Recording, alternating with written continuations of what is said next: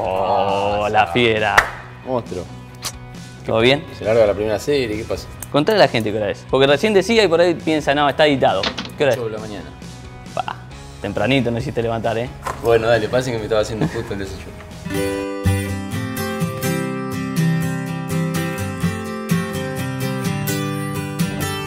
El piloto hoy en día, ¿no? El piloto que no entrena, ¿da cierta ventaja con respecto al, al resto o no? Sí, sí. Mantener el nivel al 100% durante todas las vueltas eh, solo lo puedes hacer si no, te, si no te cansás y no sufrís el calor. Automáticamente vos sentís cansancio arriba del auto de carrera o, te agitas o, empezás a sentir mucho calor, es obvio que, que- que por naturaleza le aflojás un poquito, ¿no? Y son esas tres o cuatro décimas por vuelta que, que por ahí marcan una diferencia. Si, si tenés el talento y no, no lo aprovechás y no, lo- no te entrenás, eh, no le vas a sacar el 100%. Eso es lo que hay que, hay que destacar, ¿no? Bueno, vamos a, Llegamos. a tu lugar de entrenamiento. Sí. Y aprovechás también para estar un rato, eh, pasar el rato también con tu, con tu hermano, no entrenás solo. Sí, María viene siempre acá también porque vive enfrente, vive justito enfrente, así que me encuentro con Marian la mayoría de las mañanas. Pero él es un poquito más. eh, está estancado en el tiempo, Es me parece a mí, ¿viste? Eh, sí, sí, sí, va- va- ahora van a ver, ahora van a ver. Verlo a este como ver al cuco, porque lo ves y te hace llorar. Mati Cervantes, mi profe, el que me da garrote toda la mañana.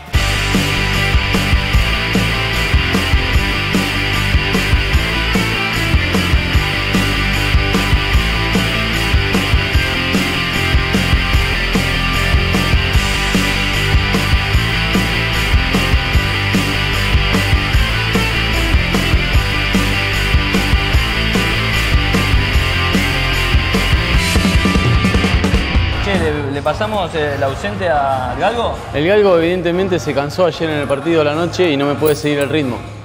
Eso es lo que pasa. Buen día. Mariano. Así no va a llegar a Super TC 2000 nunca, viejo. ¿Qué te reí? ¿Ves por qué vos corres TC 2000 y yo en Super? ¿Te das cuenta? Ocho y media yo entrenando, papá. Negro, quedó grabado esto. Tan importante el entrenamiento como el descanso. No, no, negro, negro, ¿estás filmando? Decime que estás filmando. Bueno, vos fijate lo que desayuna el galgo, ¿eh? Vos fijate. Vos fijate. Escuchá, dijeron que esto no va, Mariano.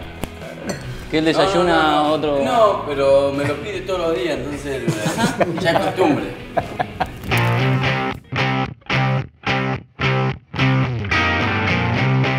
Terminó la primera fase del en- del entrenamiento. Bueno, ahora arranca la segunda acá al aire libre, tranquilo. Sí, sí, ahora con un poquito más de calor, como prácticamente corremos las finales, ¿no? Es fundamental buscar este horario. Vos decís, es fundamental por el tema de que ahora más o menos a esta hora, con este clima, con este calor, se corre la final. Exacto.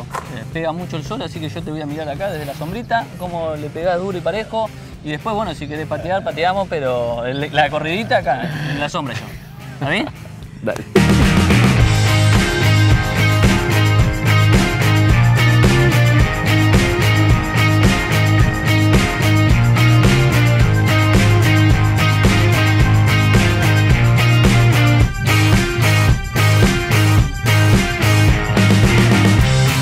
Terminó. El día, tu día de entrenamiento y esto es todos los días de la semana. Sí, sí, falta de elongación, que también duele si estiras bien. Y listo, se terminó la mañana. Generalmente a la tarde a veces también o meto algún partidito o, o una horita de pádel, dos veces por semana. Pero bueno, el entrenamiento de, de- de pretemporada con Matías es fuerte y a veces no te quedan ni ganas de hacer nada a la tarde, ¿no? Así que descansar, comer bien y esperar el otro día. No me vas a decir que estás cansado. Sí. Mira, porque yo también estoy chivado. Vos ahora vamos a meter unos cortos y te voy a hacer un trabajo específico en mi casa. Yo prefiero la pila de casa. Bueno, ese era el trabajo.